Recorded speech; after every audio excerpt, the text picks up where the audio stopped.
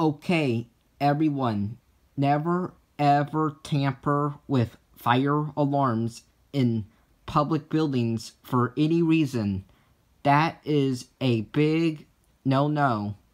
You don't ever do that. Only do it with your own fire alarms in your own house. Even if you are going to somebody else's house and they have alarms in their house, you don't go tampering with them because those are not your alarms. So, you don't tamper with them. Only do it with yours, with yours only. Never ever tamper with fire alarms in public buildings and in other people's houses.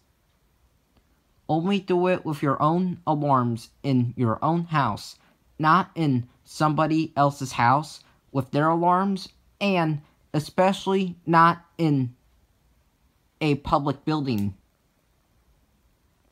You never ever mess with alarms that are not yours, especially in a public building. Goodbye.